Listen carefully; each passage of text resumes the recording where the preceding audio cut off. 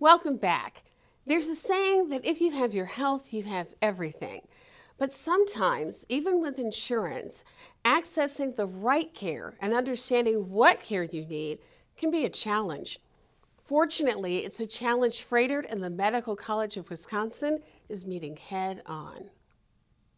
Nothing is more important than your health, and the folks here at Froedtert and the Medical College of Wisconsin are doing everything they can to make sure people have access to quality health care, no matter where you live or whatever pre existing medical conditions you might have.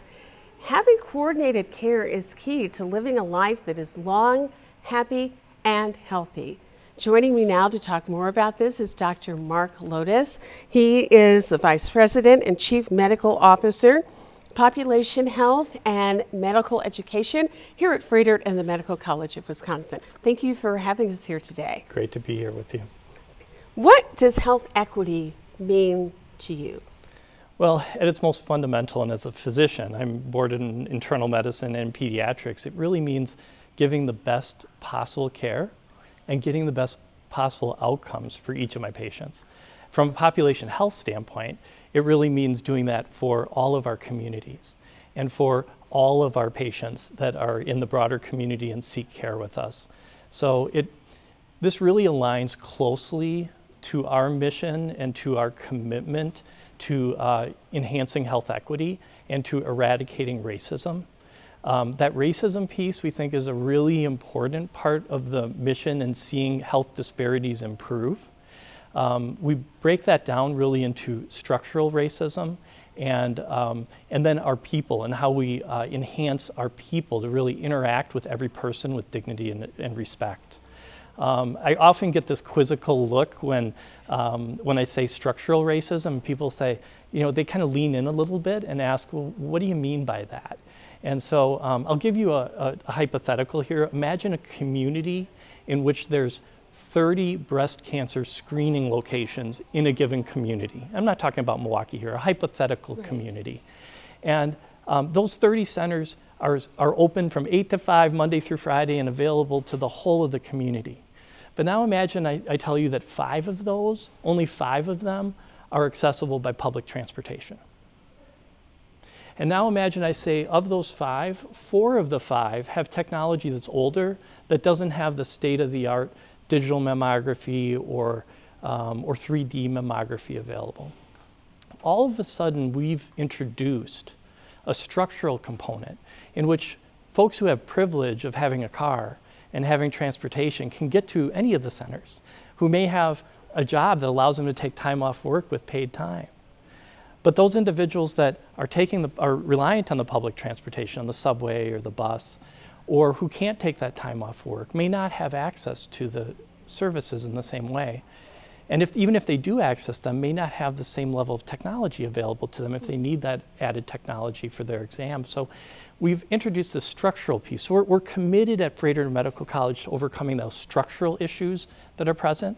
And then at the same time, for our people per, um, perspective, to having um, dignity and respect for every one of our patients that comes through the door.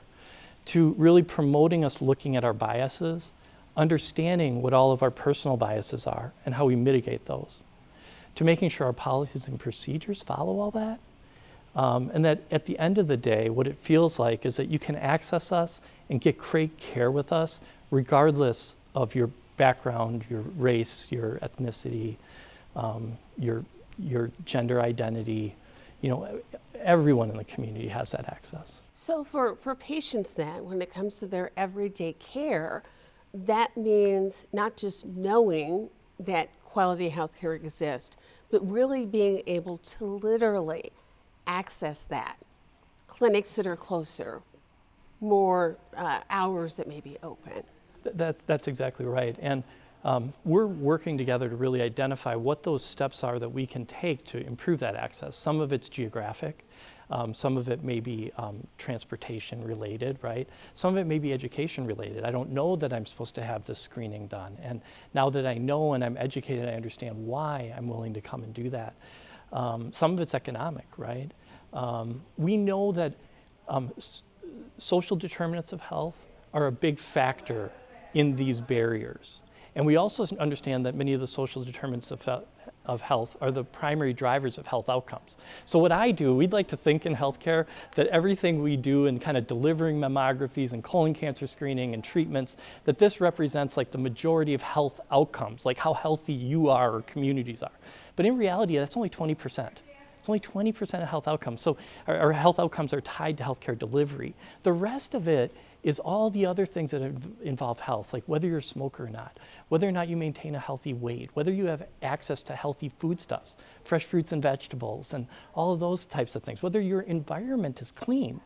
We know that, that, uh, that our um, that many of our patients live in communities that have water, air quality issues, all the rest.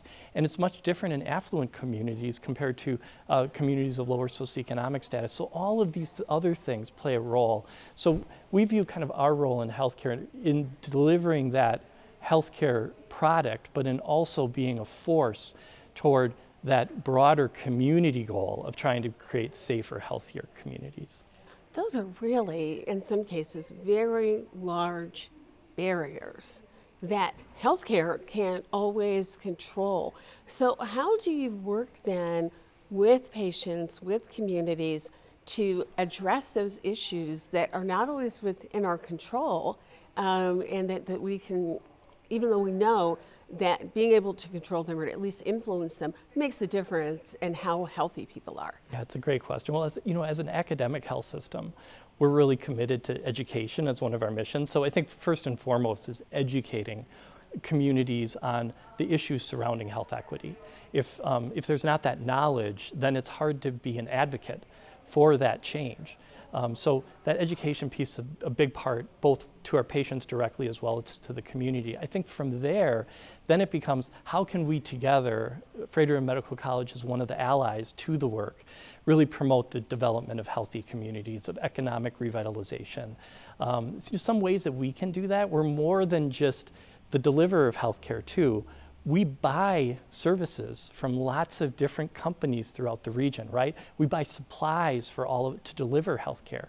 And so um, having that supplier diversity is a big part of what we do too. Um, trying to, and I'm really proud of what the organization's done over the last 20 years in really making sure that we're buying as much as we can from diverse suppliers, right? So that elevates that base of, of economic, you know, uh, uh, equality and contributes to that within the community. The other places we're a big, we're a big employer too.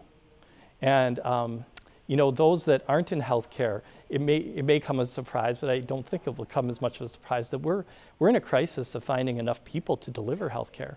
And it's not just, it's not just those that are trained in, um, you know, providing care in our teams. It's also folks who, who support this whole infrastructure, from our environmental services and food services to our um, you know, to our support services administratively. And so um, really working with the community to train individuals to come into a really life-sustaining wage and benefits with our health system and to choose a career in healthcare, real opportunity for us too. And it's another way that we view our ability to enhance equity within the community. So this push towards equity in healthcare is about so much more than even though that is, is important, where clinics are located, is really is looking at what the community's needs are in a very holistic way and working to address those, even in ways, as you've just described, that some people don't think of as being healthcare related. That's right. That's right. And you know, as a as a very big employer, you know, more than just with on Froedtert Health side alone, more than 10,000, you know, employees, we um, very much view that employment piece and that cultivation of healthcare careers as, um, as, as, core to the, to the work that we do.